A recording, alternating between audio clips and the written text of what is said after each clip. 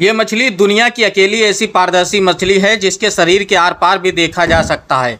इस मछली के ना दिल है, ना गुर्दे हैं और ना फेफड़े।